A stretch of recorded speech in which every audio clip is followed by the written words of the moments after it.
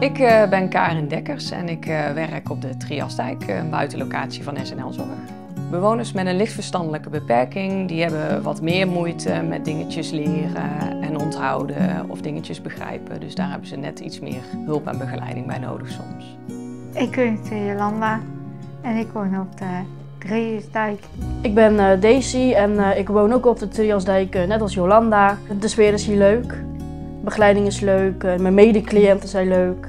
We doen hier van alles met elkaar. Dus dat maakt het hartstikke leuk hier. Ik vind het hier leuk te wonen. Ik, eh, ik doe hier ook de puzzelen, uh, koken, eitje bakken.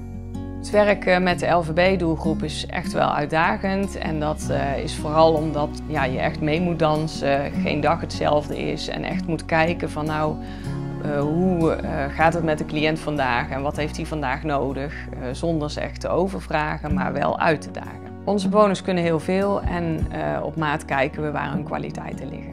Wat ik leuk vind aan Karin, ze is leuk, ze is grappig. Soms moet ze wel eens streng zijn, maar zo vaak is dat niet. Ik vind Karin zo vrolijk. Ik vind het leuk als hij jou netjes uitziet en vrolijk is.